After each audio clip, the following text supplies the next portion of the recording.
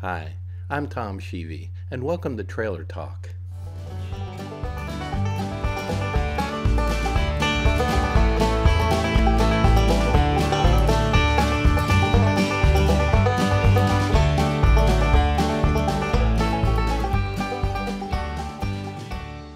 Today we're going to talk about trailer tires. I know, boring.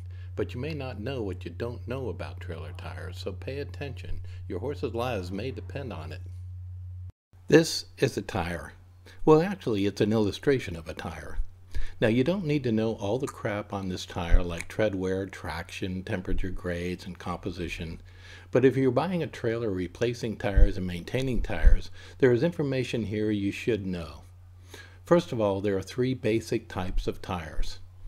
Passenger tires, indicated by a large letter P, light truck tires, indicated by large letters LT, and trailer tires, which you would think would be indicated by TT, but who knows why, is indicated by letters ST, which stands for a special trailer. And guess what?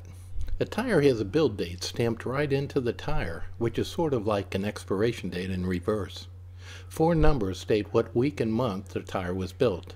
For example, 1411 would be the 14th week of 2011. Since the integrity of the tire deteriorates with age, glues dry out, and weather takes its toll, you'd be prudent to replace them every six years, whether they look like they need it or not. And very important, always check build date before purchasing the tires. Trailer tires don't sell every day as do passenger tires. They could have been sitting on a distributor's shelf for the last couple years. Now, I bet you didn't know the tires had speed limits. That's right, and the tire companies don't make it simple to find it.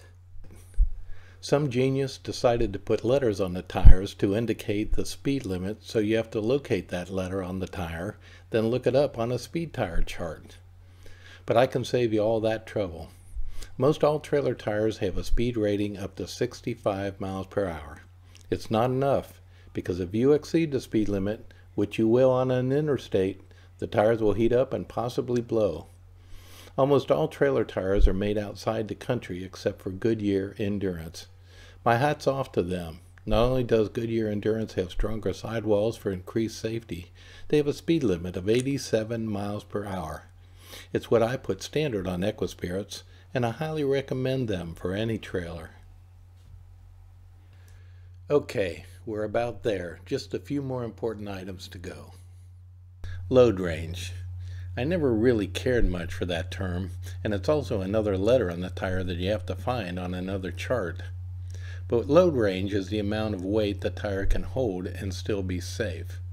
Obviously, one tire will not hold the entire weight of the trailer, but all tires added together will. That's exactly why a trailer has to be level. And then there's tire pressure, which is the final most important piece of information you need to know. So why tire companies bury the tire pressure in a small print where you need a magnifying glass to see it, I'll never know. At least it's not the letter that you have to look up. It's an actual number followed by the initials PSI, which means pounds per square inch. No matter what anyone tells you, fill the tires to the max. They flex less and therefore ride cooler and are less apt to blow. The information I've shared with you in this video is the most important things to know about trailer tires, but I've run out of time to tell you about many of the do's and don'ts. The good news is the rest of the information is available and you can get it in one of three ways. Visit our website, equispirit.com, click on Safety First, then click on Articles and Quick Tips or just email me or my cohort Tim. He has been certified for over 10 years in horse rescue and has learned firsthand the many things that cause trailer accidents. Or just call us. We love chatting about horse trailers and horse trailer safety. Remember, horses matter, and trailering safe not only protects your horses, it protects you and others out on the road.